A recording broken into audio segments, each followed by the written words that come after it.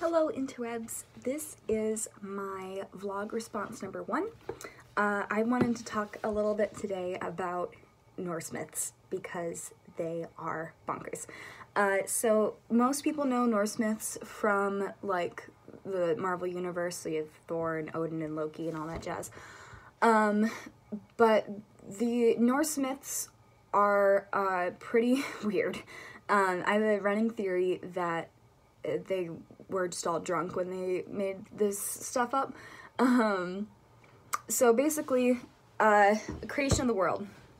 At what the entire universe was just like a big block of ice, and then you there was uh, a giant and a cow that like just formed out of the ice, and then the cow started licking the ground, and that's how humans were made. um, but then you have uh, they were split into seven realms, and then our realm is Midgard. Um, and then you all you have like, and they're all connected by this tree of life. I think it's pronounced Yggdrasil. Yggdrasil is the tree of life.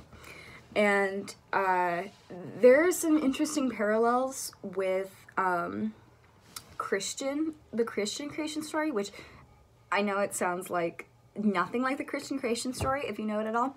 Um, but in all creation stories, you kind of have like the splitting from one to two.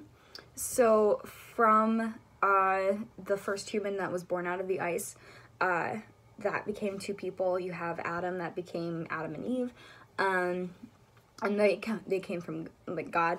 So uh, and then you also in the Norse myth you have uh, Odin, who's the king of all the gods, um, who ki kind of created the the the seven realms, um, and like split night and day. So and that's another parallel you have to the Christian creation story is like the separation from light and dark, and fun stuff like that. Um, so moving forward, Odin, Odin has a lot of interest. He so okay, Odin in order to gain infinite wisdom, hung himself from a tree and lost an eye uh, in order to be able to see just like the entire universe um, and gain its wisdom. So that's why he doesn't have an eye. He also has two ravens that like go around all seven realms every day and then uh, come back to uh, report to him. And you, you see that one of the Thor movies. Uh, speak of Thor, uh, he is god of thunder, has a hammer. Uh, he also has a magic belt, which is alluded to in the Marvel Universe, but I don't think has shown up yet, but it's pretty cool. Uh, he There's interesting stories about him. One of my favorites was uh, the one where he goes and he goes to Jotunheim, which is the uh, realm of the giants and he meets this giant, I forget his name, but he's like too afraid to like even try and kill the giant. Uh, so he and the giant are like walking along and they, the, they, the giant goes and takes a nap and he tries to smash the giant with his hammer and the giant wakes up and he's like, wow, that felt like a leaf. Did you feel anything, Thor? And Thor's like, uh, no. So it goes like on that, like that for a little bit. Um, and then, of course, we can't talk about Norse myths without talking about Loki. Uh, Loki is a really interesting character in Norse myths. So he's the god of mischief, and he's kind of the sir. He's kind of a bad guy, but more towards the end of uh, the way no uh, Norse mythology is lined up. So there's a story. So Freya is like the most beautiful goddess, goddess of nature, whatever.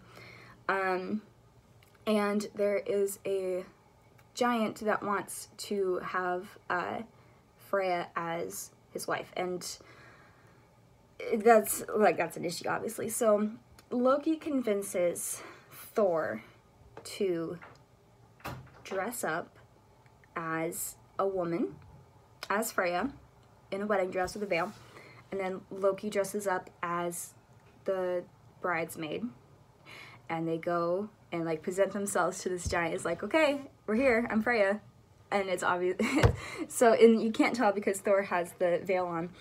And he they, the giant starts to get tipped off when uh, his bride starts like eating and drinking enough like fish and beer for like 20 people. but just like the idea that Loki got Thor to dress up as a woman, it kind of reminds me of in Thor Ragnarok, uh, it's like, we're not doing get help. um, and then my favorite story about Loki is the okay so there was a guy when they were building valhalla which is where all of the uh, gods live.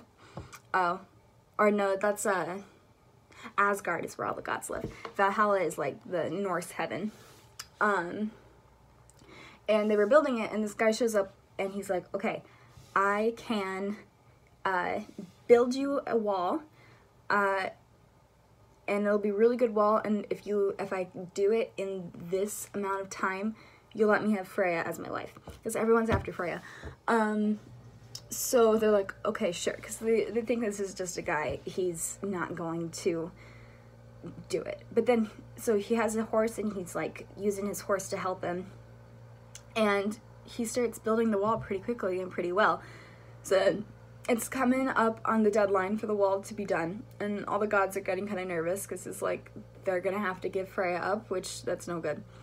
So Loki comes up with this idea, and that night, uh, while the guys and his horse are working on the wall, there's a really gorgeous mare that comes up, and of course the horse gets excited and he goes chases off the mare, chases off after the mare, and then uh, the guy that's building the wall reveals himself to be a giant and he's like smashed into a thousand pieces.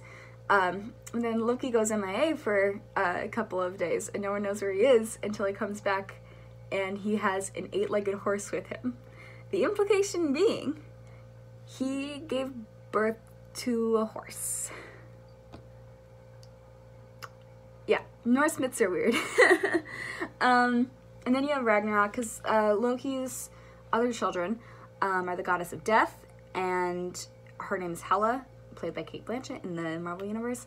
Uh, and then you have uh, Fenris, I think, is the giant wolf thing.